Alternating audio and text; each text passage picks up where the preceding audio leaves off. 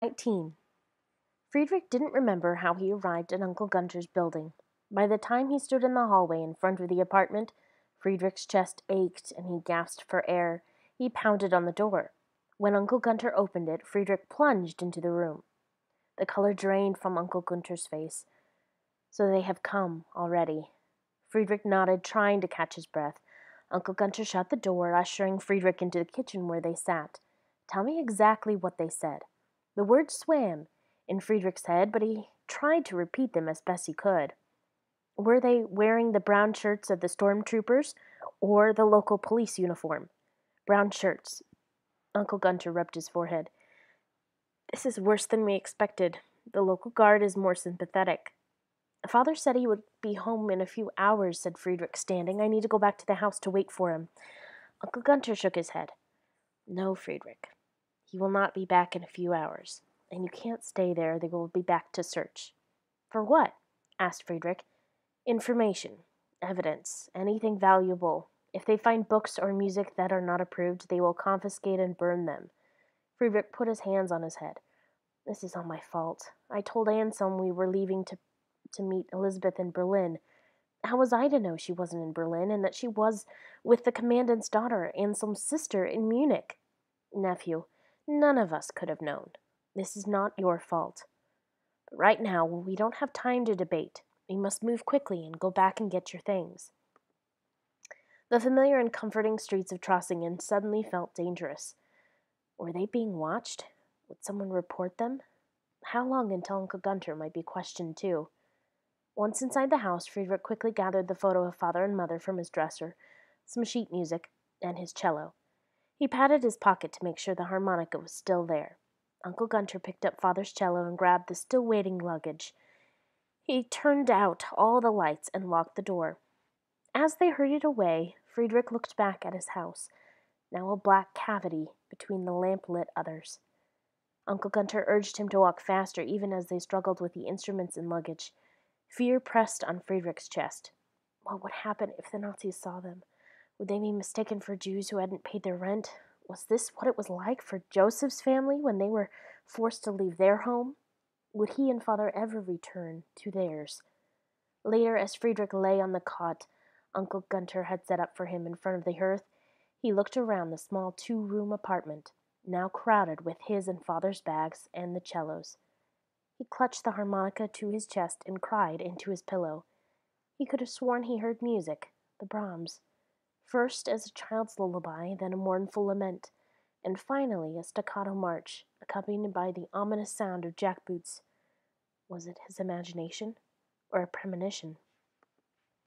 Chapter 20 Friedrich passed the weekend in a state of numbness and anxiety.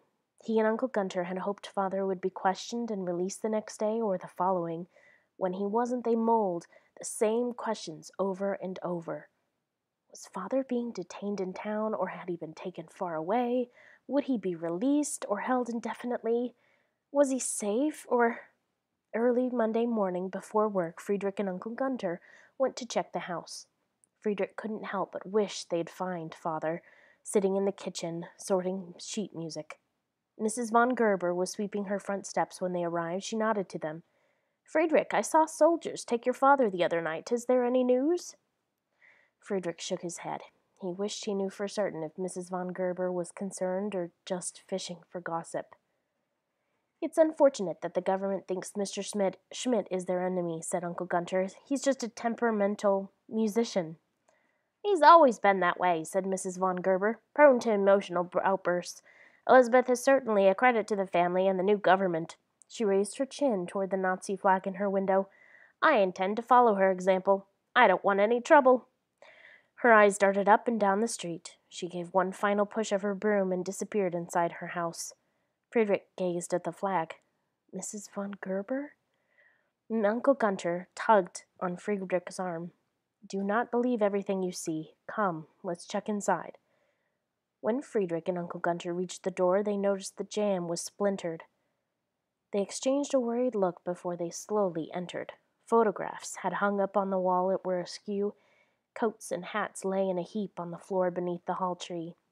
The cuckoo held court unscathed. Maybe it isn't so bad, said Friedrich. Uncle Gunter stood in the doorway to the parlor, his face telling another story. Friedrich stepped forward and his eyes widened. The room was in shambles. Furniture had been tipped, old cello bows had been cracked in half, sheet music was scattered. Books lay strewn on the floor. Only Mein Kampf by Adolf Hitler was left standing face out on a shelf. Friedrich and Uncle Gunter walked through the house. Every room had been searched and turned upside down. Every drawer and closet had been pillaged, except Elizabeth's room. The poster of the Nazi girl and boy in their uniforms had been left untouched. Friedrich, I want you to go on to work. Tell Ernst I wasn't feeling well, but we'll be back tomorrow. Say nothing about the break in. Do you understand? I want to stay with you, said Friedrich. Uncle Gunter shook his head. I'm going to get answers if I can, but in secret. I have a friend I can trust who works with the local police. He owes me a favor. I'll ask him to inquire at the commandant's headquarters on our behalf. I need you to go to the factory and act as if all is well. I'll meet you at home tonight. News of father's arrest had traveled fast. When Friedrich walked into the factory floor, he felt more self conscious than he ever had from his birthmark. It seemed everyone's eyes searched him out, eyes full of worry or piercing gazes of superiority that said father should have known better, and the all too familiar looks of pity that were, at this time, for something other than his face. He kept his head down, hurried to his station, and set to work. When Ernst made his rounds, Friedrich told him that Uncle Gunter wasn't feeling well, but would be back tomorrow. Ernst nodded. I was deeply sorry, Friedrich, to hear about Martin. His face, his voice was so sincere that Friedrich couldn't look up for fear he'd cry. When Anselm came by to deliver harmonicas, he was as puffed up as a rooster. Guess you'll think twice the next time you turn me down for a meeting, right, Friedrich? Friedrich refused to meet his gaze and kept working. Anselm leaned in. There's another youth rally next month for winter solstice. You'll come with me this, this time. We don't want the same thing to happen to your uncle that happened to your father. Do we, Friedrich? He sauntered away, whistling. Anselm's threat burned inside of him. Friedrich gritted his teeth to keep from saying anything he'd regret.